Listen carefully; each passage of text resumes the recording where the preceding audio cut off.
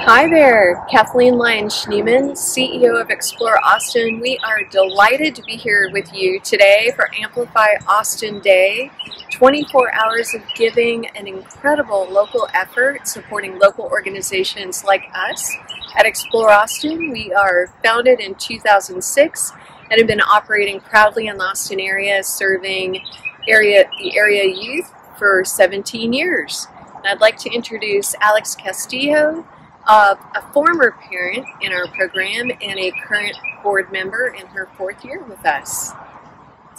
Hi, um, I found this program through my son's school. He was school he was attending Austin Achieve. Um, Explore Austin showed up and provided applications. My son came to me. He was super excited. He's like, Mom, there's this program and they're only going to take so many kids. And I said, well, good, let's apply. And sure enough, we got selected.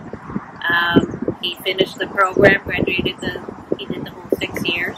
He learned a lot from it. He's a great uh, leader. I believe he learned a lot of leadership skills um, from being in the program. His uncle calls him and asks him how to build a campfire. So he learned things. He took his his dad and stepmom out on a kayaking trip. He was the leader of that trip. He often leads us, me and my other son, on hiking trips as well. So he learned a lot about the program. I am so glad that he was part of it.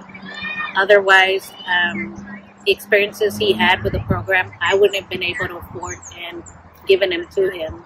So I am really appreciative of the program.